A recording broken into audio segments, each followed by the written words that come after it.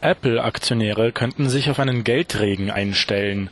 Das weltgrößte Technologieunternehmen überlegt, mehr als die Hälfte seines Barvermögens an Anteilseigner auszuschütten. Es gehe um rund 130 Milliarden Euro. Zusammen mit guten Verkaufszahlen des neuen iPhone X sollen so die Sorgen der Aktionäre gelindert werden. Denn Apple hat einen enttäuschenden Umsatzausblick für das laufende Quartal abgegeben. Zudem hat das Unternehmen im vergangenen Weihnachtsgeschäft weniger Smartphones verkauft als erwartet. Aber da das teurere iPhone X sehr beliebt war, gab es trotzdem Bestwerte bei Umsatz und Gewinn.